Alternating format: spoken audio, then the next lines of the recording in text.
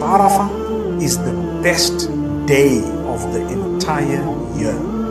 On that day, what should you be doing? You need to know it's the day, according to the hadith in Sahih Muslim, that Allah frees the maximum number, the most people from hellfire. So He writes names of people who are free from hellfire because of some good that they did. So do good throughout the season. You know, in the nights, the nights of Ramadan, there are a lot of people who are free from hellfire. But during the day, the day, this is the day, the day of Arafah, subhanallah, the ninth of Dhul Hijjah. So, subhanallah, we must ask Allah to free